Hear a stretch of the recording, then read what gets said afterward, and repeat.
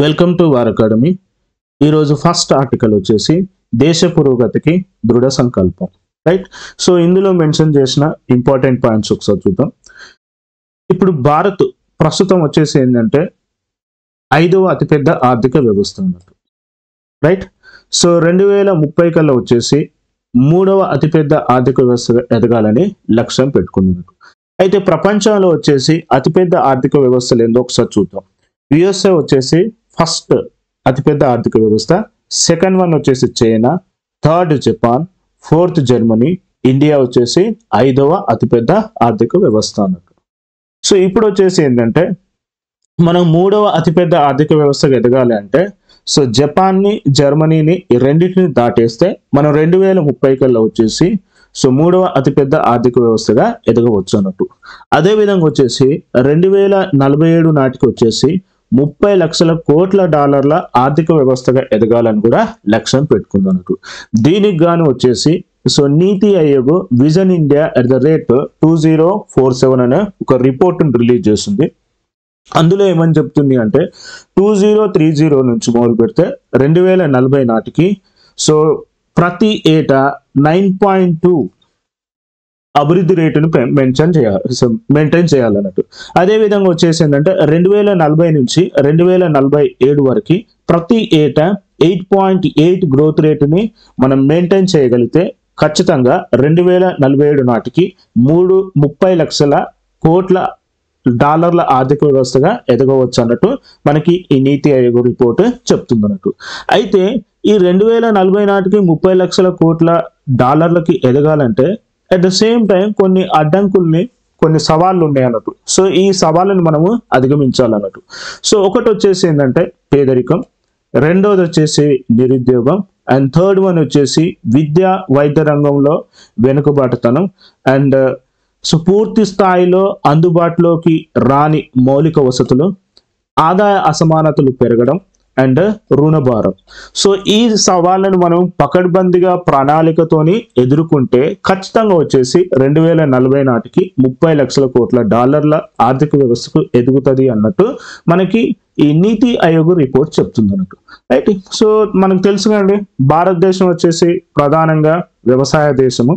So ఇప్పుడు ఏంటి అంటే మనము టూ జీరో ఫోర్ సెవెన్కి అభివృద్ధి చెందిన దేశంగా మారాలి అంటే మనం వ్యవసాయ ప్రధాన దేశం నుంచి పారిశ్రామికంగా అభివృద్ధి చెందిన దేశంగా సో ఎదగడం ఎంతైనా అవసరం ఉన్నట్టు ఈ ఆర్టికల్లో మెన్షన్ చేశారు అన్నట్టు అదేవిధంగా వచ్చేసి ఏంటంటే మనము మనకి జీడిపిలో వచ్చేసి ఫిఫ్టీ పర్సెంటేజ్ వచ్చేసి ఏంటంటే సేవా రంగం నుంచే వస్తుంది అన్నట్టు ఈ సేవా రంగము అతిగా ఆధారపడడం కూడా మంచిది కాదు. అన్నట్టు ఈ ఆర్టికల్లో మెన్షన్ చేయడం జరిగింది అన్నట్టు. అంటే సో ఇయర్ వ్యవసాయము పారిశ్రామికంగా అండ్ సేవా రంగంగా ఈ మూడింటి పరంగా మనం అభివృద్ధి చెందితే సో ఆటోమేటిక్గా వచ్చేసి ఏంటి అంటే టూ జీరో ఫోర్ సెవెన్కి మనం డెవలప్డ్ కంట్రీగా మారే అవకాశాలు అవకాశాలు ఉన్నట్టు ఈ ఆర్టికల్లో చెప్పడం జరుగుతుంది అన్నట్టు. సో మరొక విషయం వచ్చేసి ఏంటి అంటే సో ఇప్పుడు మనం టూ జీరో ఫోర్ సెవెన్కి అభివృద్ధి చెందిన దేశంగా మారాలి అంటే ఫస్ట్ ఉంది అంటే ప్రజల్లో ఆదాయ అసమానతలను ఏం చేయాలి? తొలగించాలి. ఇది ఫస్ట్ వన్ సెకండ్ వన్ వచ్చేసి ఏంటంటే ఈ మౌలిక వసతులు అండ్ మానవ వనరుల అభివృద్ధి పైన కూడా పెట్టుబడులను పెంచాలి. రైట్ సో నెక్స్ట్ సో కనీస వేతన విధానం ఏదైతే ఉందో అది ఖచ్చితంగా అమలు చేయాలన్నట్టు కూడా మనకి ఇక్కడ చెప్తుంది అన్నట్టు. అదే విధంగా వచ్చేసి ఏంటంటే సామాజిక భద్రత కూడా కల్పించాలి. సామాజిక భద్రత అంటే ఏంది? సో లైక్ వచ్చేసి health insurance life insurance PF right so ఇలాంటి ఫెసిలిటీస్ అన్నిటిని కూడా కల్పించాలన్నట్టు రైట్ సో ఇక్కడ వచ్చేసింది సామాజిక భద్రత కల్పించాలి. అండ్ నెక్స్ట్ మనం ఏదైతే ఉత్పత్తి చేస్తున్నామో ఆ ఉత్పత్తి ఖర్చులు కూడా తగ్గియాలి. ఎప్పుడైతే ఉత్పత్తి ఖర్చులను తగ్గిస్తామో వస్తు సేవల అంతర్జాతీయ మార్కెట్లో కూడా మనం సమర్థవంతంగా పోటీ పడేటట్టు మనం చేయాలన్నట్టు దీనివల్ల మనకి ఏమవుతుంది అంటే ఎప్పుడైతే మనం ఉత్పత్తి ఖర్చులు తగ్గిస్తామో అండ్ ప్రపంచ మార్కెట్లో వచ్చేసి మనం పోటీ పడే సత్తా మనకు వస్తుందో అప్పుడు ఆటోమేటిక్గా ఏమవుతుంది అంటే ఎగుమతులు పెరుగుతాయి. అలానే మనకు స్థానిక ఉపాధి అవకాశాలు కూడా పెరుగుతాయి అన్నట్టు ఈ ఆర్టికల్లో చెప్పబడడం జరిగింది అన్నట్టు. అదే విధంగా వచ్చేసి ఏంటంటే మనం ఏం చేయాలి? సో ఇయర్ అధిక ఉత్పత్తులను పెంచాలి. రైట్ అండ్ సో ఇందులో వచ్చేసి ఏంటి అంటే సో మనం ఏదైతే ప్రొడక్షన్ చేస్తామో ఆ ప్రొడక్షన్లో వచ్చేసి ఏంటంటే కొత్త సాంకేతిక ప్రక్రియను ఉపయోగించాలన్నట్టు. సో దీనివల్ల మనం ఏమవుతుందంటే మన వస్తు సేవలు వచ్చేసి కూడా విదేశీ మార్కెట్లో విస్తరిస్తాయి అన్నట్టు అలానే ఇన్నోవేషన్ సో నవీనీ నవీనీకరణ ఒకటి అధిక ఉత్పత్తి కూడా జరగాలన్నట్టు మనకి ఈ ఆర్టికల్లో చెప్పుకోవడం జరుగుతుంది. మరొక అడ్వాంటేజ్ వచ్చేసి ఏంటంటే భారతదేశంలో వచ్చేసి సో ఇయర్ భారతదేశంలో వచ్చేసి అరవై ఐదు శాతం వచ్చేసి ముప్పై ఏళ్ళ వయసు వారే ఉన్నారు అన్నట్టు ఇది మన భారతదేశానికి వచ్చేసి ఇది ఒక చోదక శక్తి అని కూడా మనం చెప్పాలన్నట్టు. రైట్ సో అయితే ఈ ముప్పై ఏళ్ళు వయసు ఉన్న యువశక్తిని మనం శోధక శక్తిగా మార్చాలి అంటే సో వీళ్ళకి ఏమి ఇవ్వాలి అంటే ఒకటి నాణ్యమైన విద్య విద్యను ఇవ్వాలి రెండవది వచ్చేసి ఏంటంటే డిజిటల్ పరిజ్ఞానాన్ని కూడా అందించాలన్నట్టు. అండ్ వీళ్ళకి నవకల్పనలు చేసే సామర్థ్యాన్ని కూడా పెంచాలన్నట్టు. దీనివల్ల ఏమవుతుందంటే అంకుర సమస్యలు వస్తాయి. ఈ అంకుర సమస్యలు వచ్చేసి ఏంటి అంటే జస్ట్ అంకుర సమస్యలు వచ్చేసి ఒక ఉద్యోగస్తులుగానే కాకుండా వీళ్ళని వ్యవస్థాపకులుగా మార్చాలన్నట్టు. అప్పుడు వీళ్ళు ఏం చేస్తారు అంటే పక్క వారికి యువత ఉపాధి కల్పించేటట్టు వీళ్ళు ఎదుగుతారు అన్నట్టు right and at same time యువతకు వచ్చేసి ఏంటంటే సో నైపుణ్య శిక్షణలో వృత్తి విద్యలో పరిశోధనలో వీటన్నిటిలలో కూడా ఏంటి అంటే పెట్టుబడులు పెంచాలి. సో దీనివల్ల మనకి ఏమవుతుంది అంటే సో మనం ఈ యువత యువతను కూడా ఒక శోధక శక్తిగా ఉపయోగించుకొని రెండు వేల నలభై నాటికి మనం అభివృద్ధి చెందిన దేశంగా ఎదగవచ్చు అన్నట్టు ఈ ఆర్టికల్ ద్వారా మనకి చెప్పడం జరుగుతుంది అన్నట్టు. అండ్ నెక్స్ట్ వన్ వచ్చేసి ఏంటంటే విదేశీ పెట్టుబడులను కూడా ఆకర్షించాలి. సో ఇప్పుడు వచ్చేసి ఏంటంటే చైనా వచ్చేసి ఇప్పుడు ఆర్థిక సంక్షోభంలో ఉంది అన్నట్టు.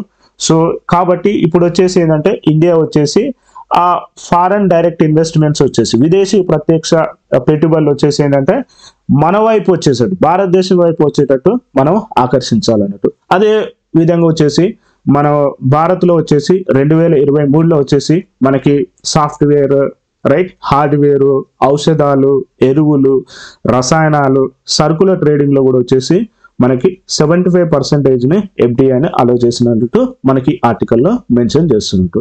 మరొక ఇంపార్టెంట్ విషయం వచ్చేసి ఏంటంటే ఈ సరుకుల రవాణాలో వచ్చేసి కూడా ఆలస్యాన్ని తగ్గించాలి. ఓకే అది ఒక ఇంపార్టెంట్ పాయింట్ నెక్స్ట్ వన్ వచ్చేసి ఏంటంటే అవినీతిని కూడా తగ్గించాలి. ఓకే నెక్స్ట్ ప్రభుత్వ యంత్రాంగం కూడా వచ్చేసి ఏంటంటే ఈ పరిశ్రమల అభివృద్ధికి వ్యాపార అభివృద్ధికి వేగంగా అనుమతులు ఇవ్వడం వల్ల కూడా మనం టూ జీరో ఫోర్ సెవెన్ వరకు సో మనం అభివృద్ధి చెందిన దేశంగా మారవచ్చు అన్నట్టు. నెక్స్ట్ సో ఎగుమతులు చేయడానికి కూడా కావలసిన వాతావరణాన్ని కూడా ఏర్పాటు చేయాల్సిన బాధ్యత ప్రభుత్వం పైన ఉంది అన్నట్టు.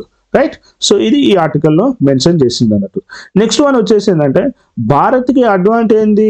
యువ జనాభా వచ్చేసి సిక్స్టీ ఫైవ్ పర్సెంటేజ్ ఉంది అన్నట్టు. రైట్ అందులో వచ్చేసి ముప్పై సంవత్సరాల వయసులోపులే సో అయితే ప్రాబ్లం వచ్చేసి ఏంటి అంటే అట్ ద సేమ్ టైం చైనాతో పోలిస్తే మన దగ్గర వచ్చేసి ఏంటంటే చైనాతో పోలిస్తే అక్షరాస్త తక్కువ ఉంది నైపుణ్యం తక్కువ ఉంది అండ్ పేదరికం కూడా ఎక్కువ ఉంది అన్నట్టు. సో ఈ సమస్యల్ని మనం ఏం చేయాలి? అధిగమించినాం అనుకోండి. సో టూ జీరో ఫోర్ సెవెన్కి మనం అభివృద్ధి చెందిన దేశంగా ఎదగొచ్చు అన్నట్టు. అండ్ అట్ సేమ్ టైం ప్రపంచ బ్యాంకు కూడా వచ్చేసి ఏమని చెప్తుంది అంటే ఈ ఒక వ్యాపార సౌలభ్య సూచికలు ఏమని మెన్షన్ చేసిందంటే చైనా వచ్చేసి ముప్పై ఒకటో స్థానం ఉంది. భారత్ వచ్చేసి ఏంటంటే అరవై మూడో స్థానం ఉందని చెప్తుంది అన్నట్టు ఈ లోపాన్ని కూడా మనము సరిదిద్దాలన్నట్టు. ఎప్పుడైతే ఈ లోపాన్ని సరిదిద్దామో మనం స్వదేశంలోనూ అలానే విదేశాల్లో వస్తున్న మార్పులకు అనుగుణంగా భారత్ కూడా తనకు తాను మలుచుకుంటూ సుసంపన్న దేశంగా అవతరించాలి అన్నట్టు ఈ ఆర్టికల్లో మెన్షన్ చేయడం జరిగింది అన్నట్టు నెక్స్ట్ సెకండ్ ఆర్టికల్ వెళ్దాం. సెకండ్ ఆర్టికల్ వచ్చేసి ఏంటి అంటే ఇక్కడ మనకి గోదావరి కృష్ణ మూసీ నదులు ఉన్నాయి కదా? ఈ ఇవే కాదు. నదులు సో తెలంగాణలో నదులు ఉపనదులు చెరువులు అన్ని కూడా ఏమైపోయినాయంటే కాలుష్యం అయిపోయింది అన్నట్టు రైట్ సో ఇయర్ విపరీతంగా కాలుష్యంతోనే ఉన్నదన్నట్టు మనకి ఈ ఆర్టికల్లో చెప్పడం జరుగుతుంది అన్నట్టు రైట్ ఒకసారి చూద్దాము. మనకి నీళ్ళ ట్రేడింగ్ ఒకసారి ఈ నీటికి కూడా ఏంటి అంటే కొన్ని గ్రేడింగ్స్ ఇస్తారు అన్నట్టు రైట్ ఆ గ్రేడింగ్స్ వచ్చేసి ఏంటంటే grade A so grade B so year grade C so grade D next grade E and grade E పైగా. సో ఇలా మనకి ఏంటంటే కొన్ని గ్రేడ్స్ ఇచ్చారు అన్నట్టు రైట్ సో ఇప్పుడు వచ్చేసి ఏంటంటే grade A so grade A ఏం మాట్లాడుతుంది అంటే సో అవి ఏంటి అంటే మంచినీళ్ళు బట్ అందులో నుంచి ఏం చేయాలి? బ్యాక్టీరియా తొలగిస్తే సరిపోతుంది అన్నట్టు మనకి చెప్పడం జరిగింది అన్నట్టు నెక్స్ట్ గ్రేడ్ బి వచ్చేసి ఏంటి అంటే వాటర్కి గ్రేడ్ బి ఇస్తే దాన్ని ఏమంటాం అంటే ఇందులో వచ్చేసి ఏంటంటే కోలిఫామ్ బ్యాక్టీరియా కొంతవరకు అధికమని చెప్పొచ్చు. అయితే క్లోరిన్ ఆర్ బ్లీచింగ్తో ఏం చేయొచ్చు అంటే శుద్ధి చేసి వాటిని తాగొచ్చు అని చెప్తుంది. లేదా నేరుగా స్థానాన్ని కూడా వాడుకోవచ్చు అన్నట్టు మనకు చెప్తుంది. నెక్స్ట్ సి గ్రేడ్ వచ్చేసి ఏంటంటే ఇది శుద్ధి చేసి బ్యాక్టీరియాను తొలగించిన తర్వాతనే ఈ నీటిని తాగాలని చెప్తుంది. అండ్ డి గ్రేడ్ వచ్చేసి ఏంటి అంటే ఈ నీళ్ళు చేపలకి జంతువులకు మాత్రమే ఉపయోగించాలన్నట్టు మనకు చెప్తుంది. నెక్స్ట్ ఈ గ్రేడ్ వచ్చేసి ఏంటంటే సో ఇది కేవలం సాగునీటికి అవసరాలకు మాత్రం ఉపయోగించాలని చెప్తున్నాడు. ఈ గ్రేడ్ పైగా వచ్చేసి ఏంటంటే ఈ వాటర్ దేనికి పనికిరాదన్నట్టు మనకి చెప్తున్నాడు.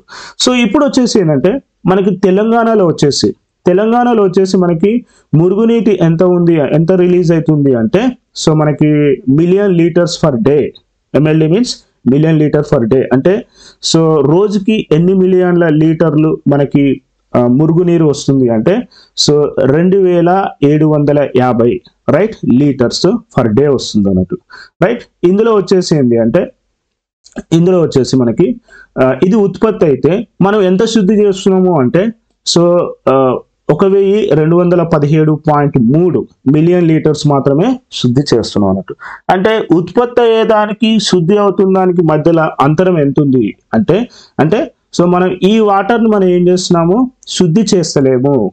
సో ఒక వెయ్యి ఐదు వందల ముప్పై రెండు పాయింట్ ఏడు మిలియన్ లీటర్స్ శుద్ధి జరుగుతలేదు అన్నట్టు సో మనకి ఈ ఆర్టికల్ చెప్తుంది అన్నట్టు అయితే సో ఇప్పుడు ఏంది? గత ప్రభుత్వాలు వచ్చేసి ఏంటి అంటే సో ఒక ఏమంటారు? మురుగునీటి శుద్ధి ప్లాంట్ని ఏర్పాటు చేశారు. ఇది రెండు వేల ఇరవై నాటికి ఇరవై నాలుగు నాటికి సో ఈ మురుగునీటి శుద్ధి ప్లాంట్లు అమల్లోకి వస్తున్నట్టు చెప్తున్నారు అయితే ఈ మురుగునీటి శుద్ధి ప్లాంట్లు ఎంతవరకు చేస్తాయి అంటే ఒక వెయ్యి నూట అరవై ఒకటి పాయింట్ టూ మిలియన్ లీటర్స్ని శుద్ధి చేయగలుగుతుందని చెప్తున్నట్టు ప్రస్తుతానికి మాత్రం ఇవి నిర్మాణంలో ఉన్నాయి అన్నట్టు మనకి ఈ ఆర్టికల్ ద్వారా చెప్పడం జరుగుతుంది అన్నట్టు సో నెక్స్ట్ వన్ వచ్చేసి ఏంటంటే సో నెక్స్ట్ ఆర్టికల్ వచ్చేసి ఏంది? సో ముప్పై మూడు నేరాలలో వచ్చేసి రైట్? సో ముప్పై మూడు నేరాల్లో వచ్చేసి జైలు శిక్ష పెంపు అన్నట్టు ఉంది అన్నట్టు ఇందులో వచ్చేసి ఏంటంటే సో బ్రిటిష్ హాయంలో వచ్చేసి మనకి ఏంటంటే బ్రిటిష్ హాయంలో ఉన్న ఏదైతే మనకి Indian so IPC Indian procedural code and next one వచ్చేసి criminal procedure code evidence act ఈ మూడు చట్టాలు కూడా అప్ టు ఇప్పటి వరకు కూడా ఇవి అమల్లో ఉన్నాయి అన్నట్టు.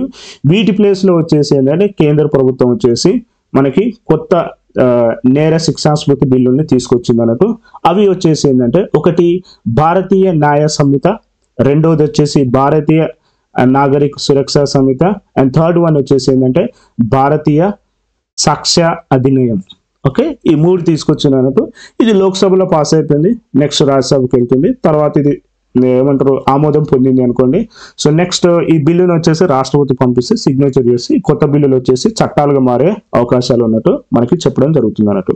సో ఇందులో వచ్చేసి ఏమని చెప్తున్నారు అంటే ఇక్కడ ఉగ్రవాదానికి స్పష్టమైన నిర్వచనం ఇచ్చారు అన్నట్టు. ఇంతకుముందు ఉగ్రవాదానికి స్పష్టమైన నిర్వచనం లేదన్నట్టు ఇప్పుడు స్పష్టమైన నిర్వచనం ఇచ్చారు.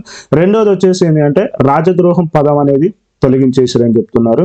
నెక్స్ట్ వచ్చేసి ఏంటంటే ఈ బానిసత్వ భావాలు ఉండే అన్నిటిని కూడా తొలగించడం అన్నట్టు మనకు చెప్తుంది అన్నట్టు ఒకసారి పాత బిల్లుకి కొత్త బిల్లులో డిఫరెన్సెస్ ఒకసారి గమనిస్తే పాత చట్టంలో వచ్చేసి ఏంటంటే అత్యాచారము so A three seventy five three seventy six సెక్షన్లు ఉంటాయి. ఇప్పుడు కొత్త బిల్లు వచ్చేసి దాన్ని ఏం చేశారు అంటే సెక్షన్ సిక్స్టీ త్రీగా చేశారు అన్నట్టు మనకు చెప్తున్నట్టు అండ్ హత్య గురించి కూడా గమనిస్తే పాత చట్టంలో వచ్చేసి హత్య వచ్చేసి త్రీ నాట్ టూ ఉండే. ఇప్పుడు కొత్త బిల్లు వచ్చేసి వన్ నాట్ వన్ కిందకి తీసుకొచ్చారని చెప్తున్నారు. కిడ్నాప్ విషయం. కిడ్నాప్ కూడా వచ్చేసి ఏంటంటే పాత చట్టంలో వచ్చేసి మూడు వందల యాభై తొమ్మిది సెక్షన్ ఉంటే ఇప్పుడు కొత్త బిల్లు వచ్చేసి ఏంటంటే సెక్షన్ వన్ థర్టీ సిక్స్ ఉందనేది మనకు చెప్తున్నట్టు. ఒకసారి మనకేంది? మూడు బిల్లులు వచ్చినాయి అన్నాం కదా? ఒకటి వచ్చేసి న్యాయ సంహిత బిల్ ఒకటి. రెండవది వచ్చేసి భారతీయ నాగరిక సురక్ష సంహిత అని చెప్పాము. అండ్ నెక్స్ట్ థర్డ్ వన్ వచ్చేసింది భారతీయ సాక్ష్య అధినియం అని మూడు బిల్లు వచ్చినాయి అన్నట్టు. మరొక ఇంపార్టెంట్ విషయం వచ్చేసి ఏంటంటే ఈ ఈ సామూహిక హింసాకాండకు పాల్పడుతూ కూడా మరణ దండన అనేది కూడా సో కొత్త అది వచ్చిందని కూడా మనకి ఇందులో మెన్షన్ చేస్తారు అన్నట్టు. ఫస్ట్ వన్ వచ్చేసి ఏంటంటే న్యాయ సంహిత బిల్లు ఒకసారి చూద్దాం. కొత్తగా ఇరవై నేరాలను చేర్చారు అన్నట్టు ఇందులో వచ్చేసి. అండ్ ఐపీసీ నైన్టీన్ నిబంధనలు తొలగించేసారు అన్నట్టు. ఐపీసీలోని పంతొమ్మిది నిబంధనల తొలగింపు చేశారు అండ్ ముప్పై మూడు నేరాలలో వచ్చేసి ఏం చేశారంటే జైలు శిక్ష పెంపు చేశారు అన్నట్టు. ఎనభై మూడు నేరాలలో వచ్చేసి జరిమానాను పెంచారు. అండ్ ఇరవై మూడు నేరాల్లో తప్పనిసరిగా కనీస శిక్ష విధింపు చేశారు అన్నట్టు. అండ్ కొత్తగా ఆరు నేరాలలో సమాజ సేవా శిక్ష కూడా ఇందులో ఎన్షన్ చేసిండ్రు. అండ్ చైల్డ్ అనే పదాన్ని కూడా నిర్వచనం ఇచ్చిన అన్నట్టు న్యాయ సమిత బిల్లులో పేర్కొన్నారు అన్నట్టు. Right?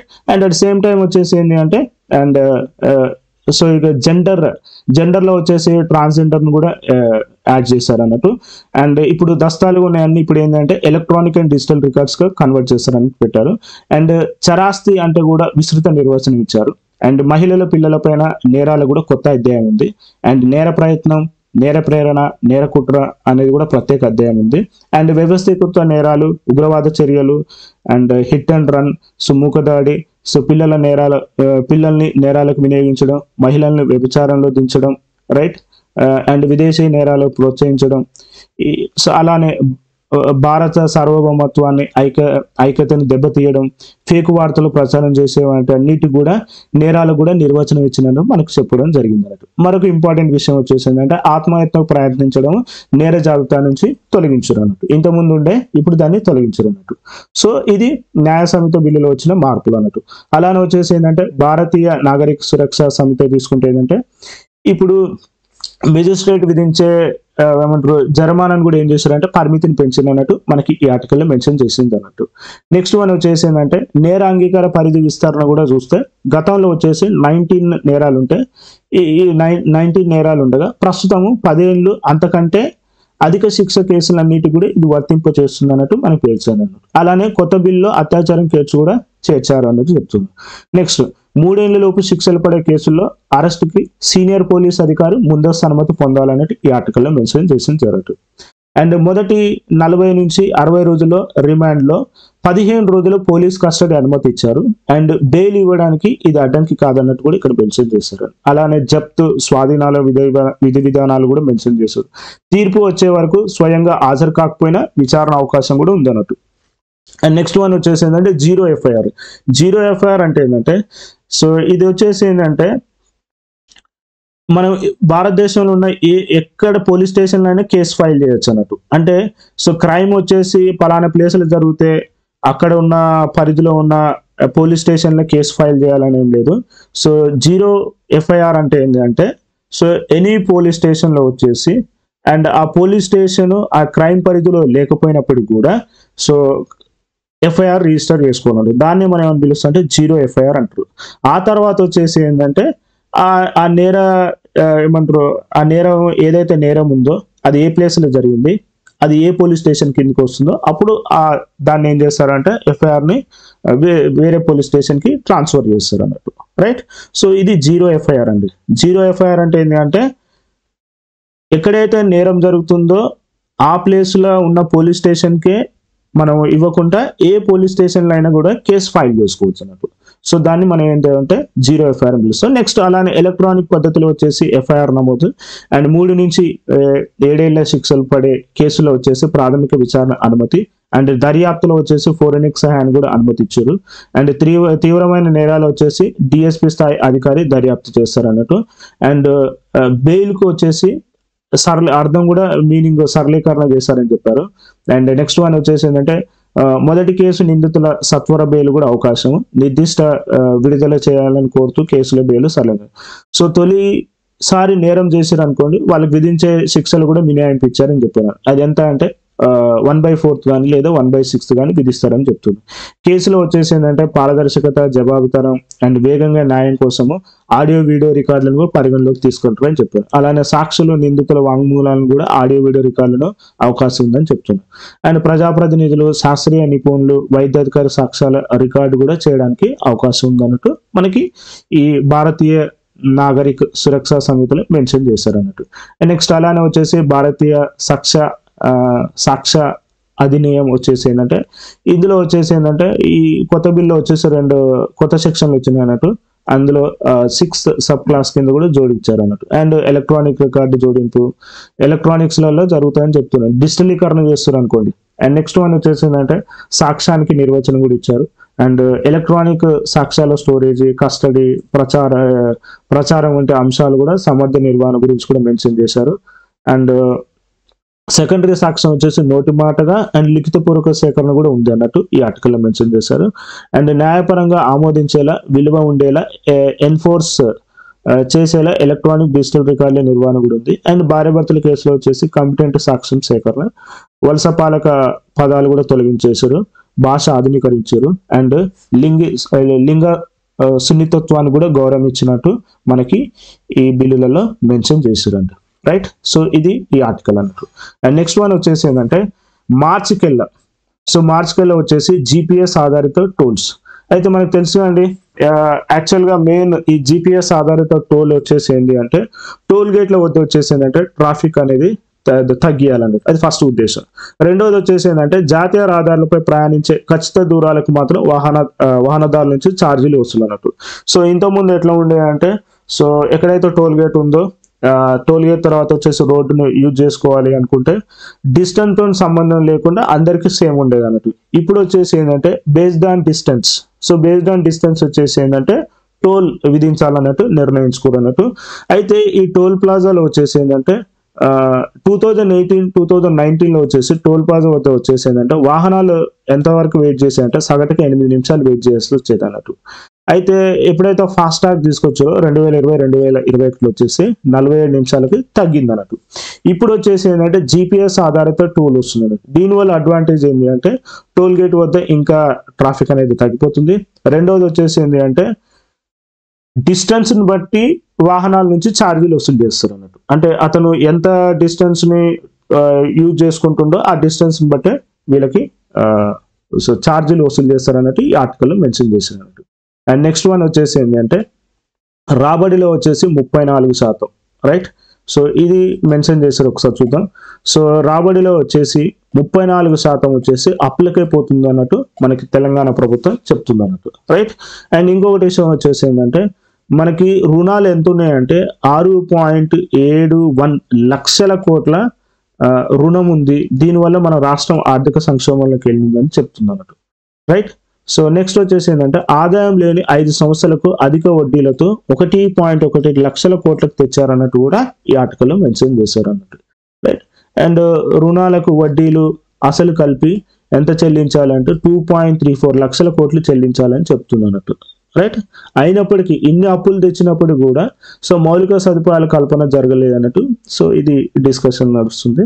రైట్ సో ఓవరాల్ గుర్తుంచుకోవాల్సింది ఏంటంటే మనకు వచ్చిన రాబడిలో వచ్చేసి ముప్పై నాలుగు శాతం వచ్చేసి అప్పులకే పోతుంది అన్నట్టు ఈ ఆర్టికల్లో మెన్షన్ చేయడం జరిగింది అన్నట్టు. రైట్ సో నెక్స్ట్ ఆర్టికల్కి వెళ్దాం.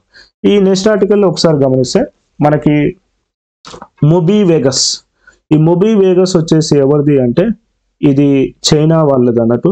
ఇది వచ్చేసి ఏంటంటే ప్రపంచంలోనే అతిపెద్ద విలాసవంతమైన నౌక అన్నట్టు. సో ఇది ఎంత లెంత్ ఉంటుంది అంటే two seven two thirty seven metres length ఉందంట.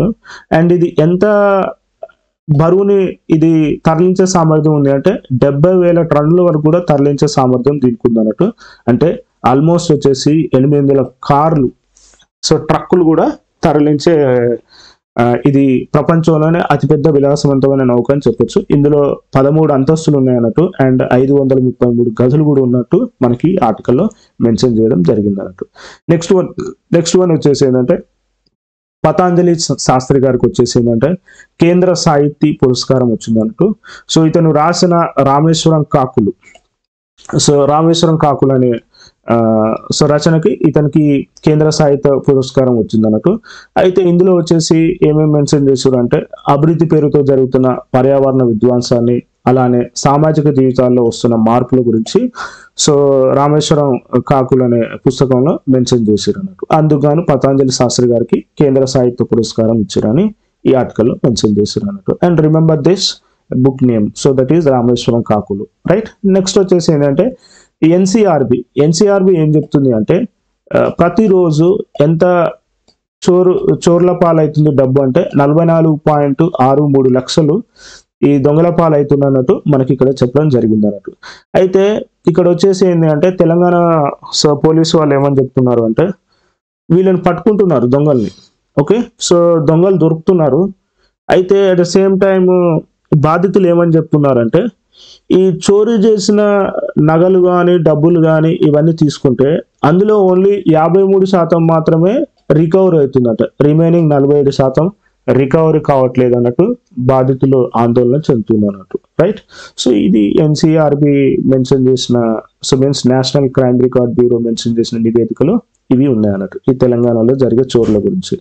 అండ్ నెక్స్ట్ వన్ వచ్చేసి ఏంటంటే మనకి కరెంట్ ఒకసారి ఇందులో ఒకసారి గమనిస్తే మనకి ఫస్ట్ వచ్చేసి ఏంటంటే ఇండియన్ నావీ ఉంది కదండి so Indian navy so Indian navy అలానే వచ్చేసి Indian institute of technology Kanpur తీసుకుంటే వీళ్ళు ఒక ఎంఓఏకి వచ్చారన్నట్టు దీని ప్రకారం వచ్చేసి ఏంటంటే సో టెక్నాలజీని ప్రమోట్ చేయాలి అండ్ ఇన్నోవేషన్ సొల్యూషన్స్ తీసుకురావాలి and at same time joint R and D చేయాలన్నట్టు వీళ్ళు ఎంఓఏ చేసుకున్నట్టు మనకు చెప్తుంది. Indian navy and IIT Kanpur right and next one వచ్చేసి ఏంటంటే మనకి యునైటెడ్ నేషన్స్ జనరల్ అసెంబ్లీ ఉంది కదా డిసెంబర్ ఫోర్త్ టూ థౌజండ్లో ఏమని డిసైడ్ చేసింది అంటే ప్రతి సంవత్సరం డిసెంబర్ ఎయిటీన్త్ వచ్చేసి ఇంటర్నేషనల్ మైగ్రేషన్ డే అని చెప్తుంది అన్నట్టు అయితే ఈ సంవత్సరం వచ్చేసి ఈ థీమ్ వచ్చేసి ఏంటంటే promoting safe migration. Okay remember this promoting safe migration అని చెప్తున్నట్టు. అండ్ అలాగే విధంగా వచ్చేసి ఏంటంటే ఇంటర్నేషనల్ హాకీ ఫెడరేషన్ ఏమని అనౌన్స్ చేసిందంటే ఇండియా హార్దిక్ సింగ్ అండ్ సవితా పూనియా వీళ్ళిద్దరు ట్వంటీ ట్వంటీ త్రీలో వచ్చేసిందంటే ఒకరికి వచ్చేసి మీన్స్ హార్దిక్ సింగ్ వచ్చేసి ప్లేయర్ ఆఫ్ ది ఇయర్ అని వచ్చింది. And at same time award ఇచ్చారు. And at same time Sabita పూనియాకు వచ్చేసేమో goalkeeper of the year award ఇవ్వడం జరిగింది. ఇవి ఇవి ఇందులోనే ఇంపార్టెంట్ అన్నట్టు. నెక్స్ట్ వన్ వచ్చేసి ఏంటంటే దక్షిణ మధ్య రైల్వేకి ఏడు అవార్డులు వచ్చినట్టు చెప్పుకున్నాం. తెలంగాణకు వచ్చేసి ఐదు అండ్ ఏపీకి వచ్చేసి రెండు ఇచ్చినట్టు. ఎందులో ఇచ్చారు అంటే ఇంధన పరిరక్షణ విషయంలో వీళ్ళకి అవార్డు లభించింది అన్నట్టు ఈ ఆర్టికల్లో మెన్షన్ చేసింది నెక్స్ట్ వన్ వచ్చేసి ఏంటంటే చాంద్రాయన్ త్రీ విజేత ఇస్రో ఐస్లాండ్ అవార్డు వచ్చింది అన్నట్టు రైట్? సో ఇది వచ్చేసి ఏంటంటే ఐస్లాండ్లో వచ్చేసి ఉసావిక్లో వచ్చేసి ex exploration exploration museum twenty twenty three. So so Leif Erikson lunar prize వీళ్ళకి ఇచ్చారు అన్నట్టు రైట్ సో ఇది మనకి ఇస్రోకి లభించింది అన్నట్టు ఈ ఆర్టికల్లో మెన్షన్ చేయడం జరిగింది అన్నట్టు.